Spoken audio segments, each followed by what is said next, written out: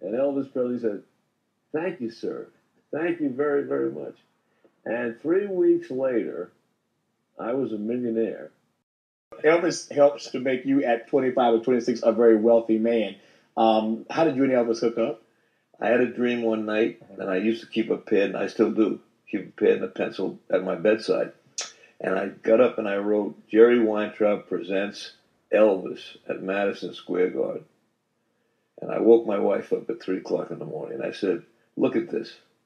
And I showed it to her. And she said, Do you know Elvis Presley? I said, and I would, you know, I was nobody then. I was doing a few mm-hmm. little shows at the Brooklyn Paramount.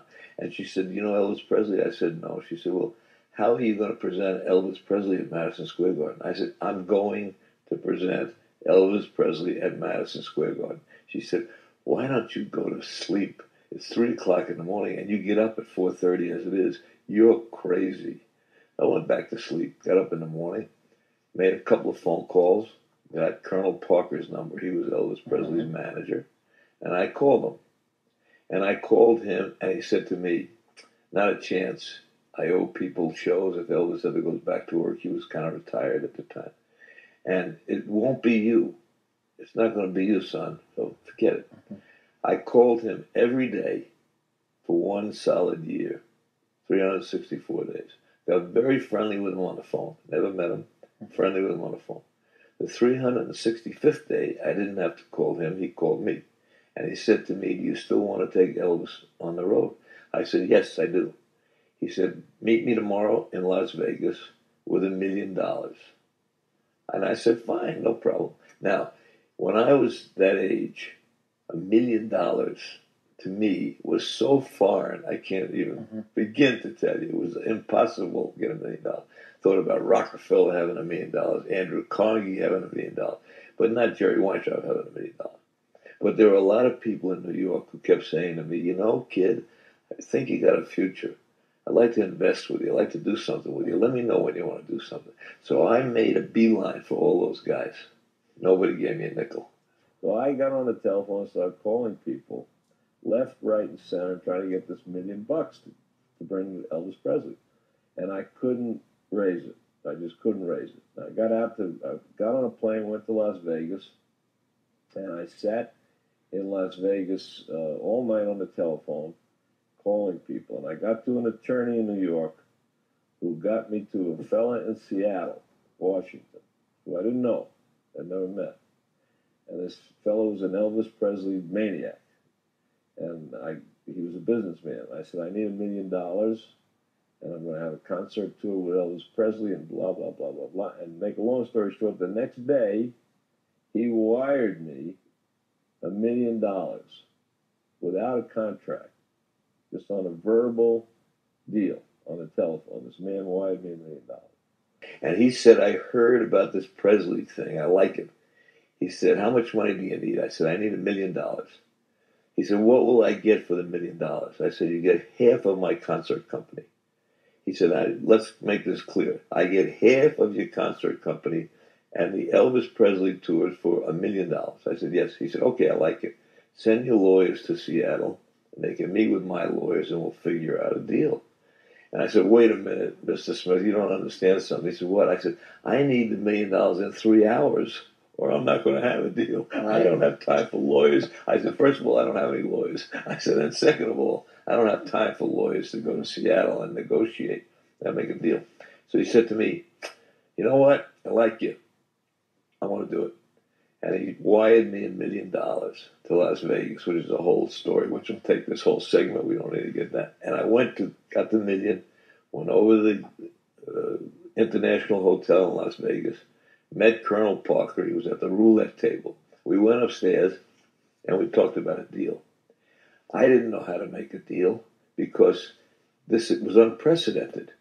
And I had sold half of my concert company. Of course, I didn't have a concert mm-hmm. company, so I was selling half for nothing, you know, which was pretty good and pretty persuasive. Yeah. And he ended up making tens and tens and tens of millions of dollars with the company, so he did fine. Wow. Anyway, we, he took me up to see Elvis, and we talked about the deal first before we went up to see Elvis. And he didn't know what to ask for, and I didn't know what to ask for because this was unprecedented territory. never been done before. No one had ever taken a concert tour into arenas. I did it for the first time. So we, I kind of waited it out and I talked to him a little bit more and he said, How about 50 50? I said, 50 50, that sounds okay. It's okay with me. He said, Okay, Elvis and I'll take 50%, you take 50%. I said, Great. I didn't realize what that meant Mhm. to, to me, you know, that I was going to become a multimillionaire in no time.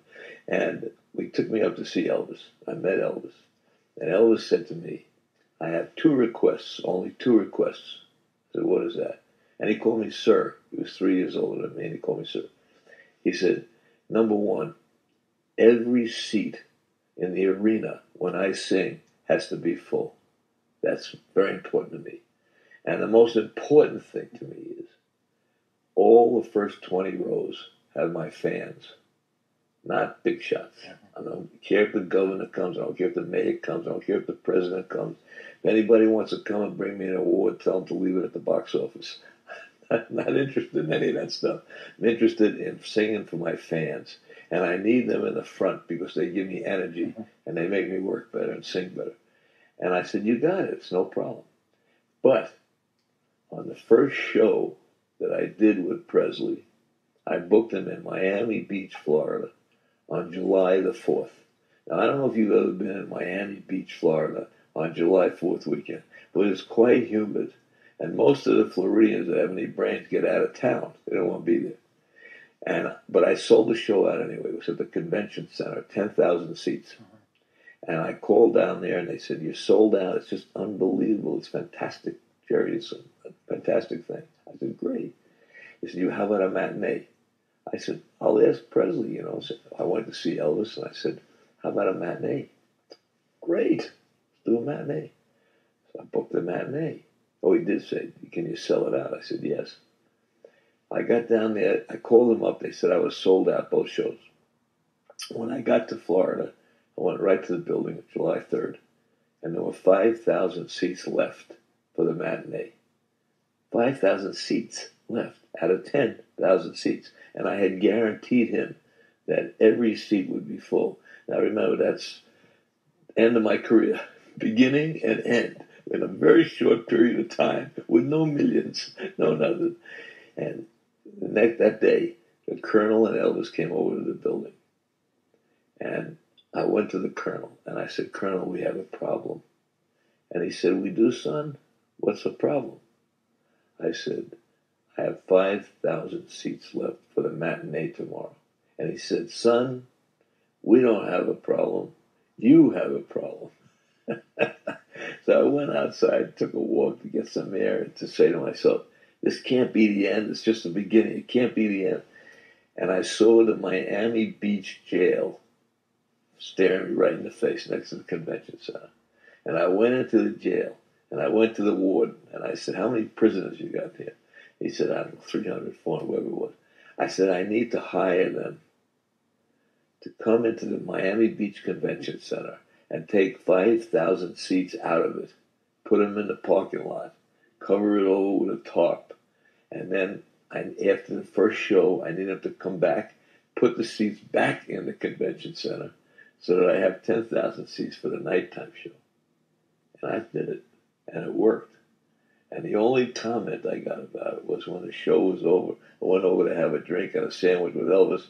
And I, he said, uh, I said, how'd you like today? Did you enjoy yourself today? He said, it was great. It was great. Every seats were all full. He said, you know, but the nighttime audiences have much more energy than the daytime because there were 5,000 less people.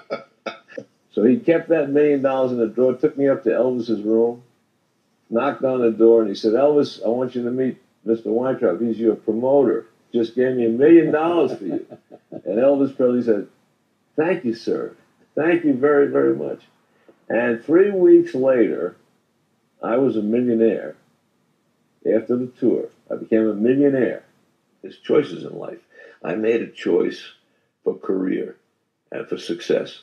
When you make that choice, you give up something. You have to give up something. I worked 24 hours a day and still do seven days a week. I don't know about Saturday or Sunday. I don't know about holidays and vacations.